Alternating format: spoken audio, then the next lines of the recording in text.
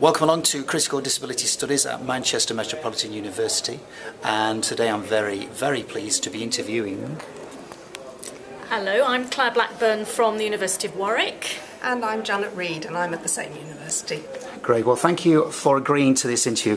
The first question is, could you tell me a little bit about your current research, um, some of the things that are cropping up and perhaps maybe how that is kind of adding to our knowledge within disability studies?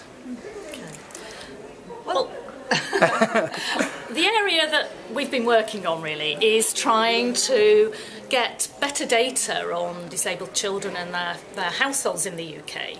Um, because there has been an absence of really good data that people that could be used by people who are trying to pro provide services right. and that could be used by policymakers um, so that they're likely to design really effective policies for disabled children and their families.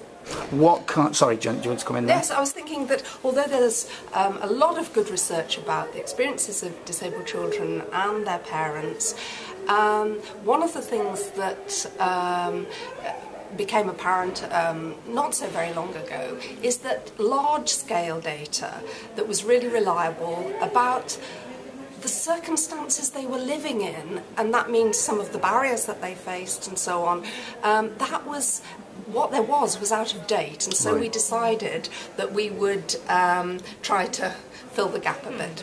And try and um, complement really the sort of very rich um, seam of qualitative studies that we've got and complement that with some more quantitative data about people's lives, that people who um, who are designing services actually need um, to be able to have estimates, for example, of mm. how many people they may need to design services for, etc. Yeah. Yeah. That's interesting because it reminds me of uh, the point that Tom Shakespeare makes in his controversial 2000, 2006, I think, book, where he talks about actually that the, yes, there's lots of qualitative research in yeah. disability studies, yeah. but not enough kind of quantitative. Yes. And would that be a kind of view you would share? Yes, I think so. I don't want to denigrate the qualitative work. No. In fact, both of us have done and continue to do qualitative work.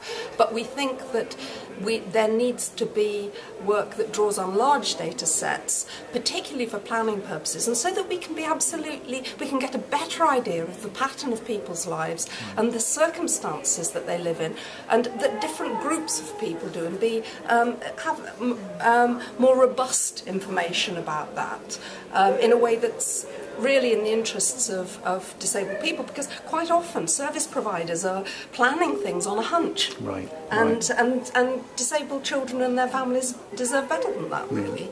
Yeah. And as you know, Ron McCallum was saying yesterday, to be able to monitor the, the UN Convention on the Rights yeah. of Disabled People, you actually need some quantitative data as well as qualitative data, and there is an absence of that. How would you respond to the statement that um, families with uh, that have uh, disabled children actually have it better now than they did 10 years ago? Well, the current um, data that we've been looking at and analysing actually says that that's not the case.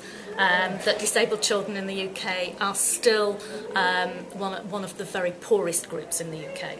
And that actually if you look at within the group of disabled children, there are some groups that are even poorer than others. So some of our recent research has been looking at um, um, differences within the group. So for example, um, within the group of di disabled children and their households, households that have both disabled adults and disabled children are some of the poorest right. of the poor. And they have, if you look at what their medium incomes are, then they are much, much lower than, um, for example, disabled children who are living in households whose parents don't have um, right. a limiting long-standing illness or disability.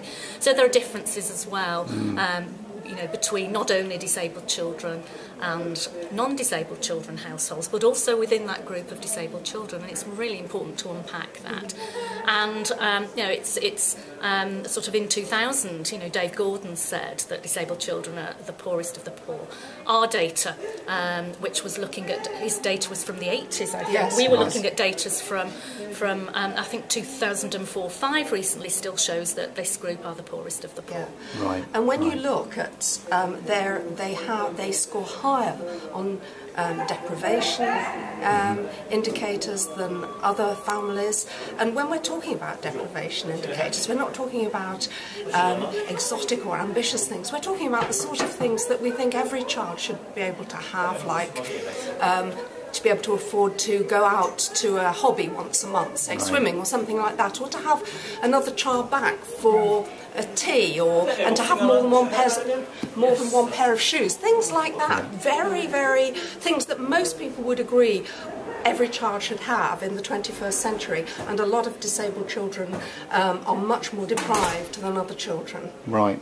I mean, I just want to kind of uh, um, one question. I mean, we've, as you know, we've been doing a project, and and what our question was, um, does every child matter? what is your sense then about the current state of play for disabled children? In, and we're thinking about Britain here.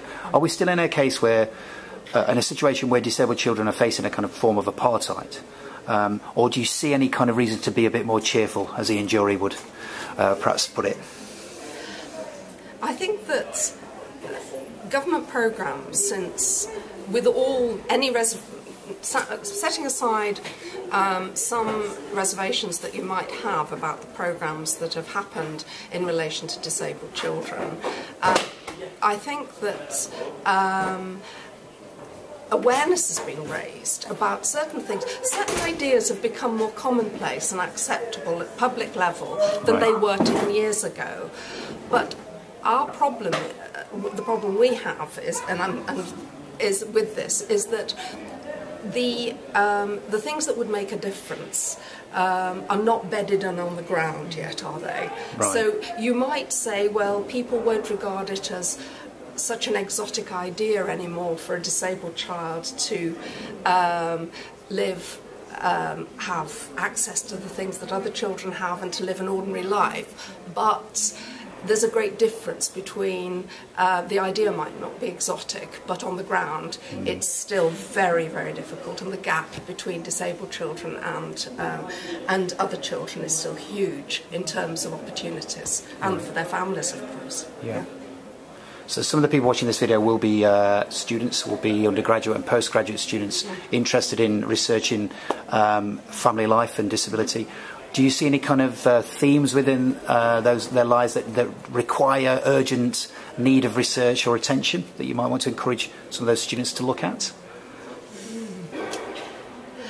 I think one of the things that I want to say is that poverty and poor living conditions should never be an also ran for any practitioner. And I worked with um, social work practitioners and um, post qualification and social work um, students for a very long time.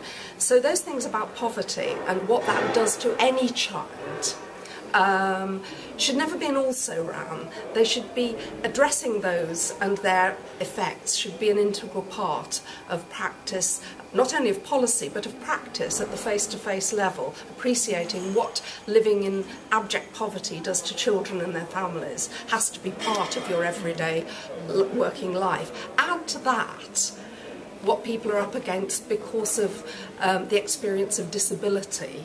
And I think those are the sort. Those are if you have to be if you can't be aware of anything else. That interface between poverty and disability should be on the agenda for every professional, really. There's lots more, but those two things would be my top top box.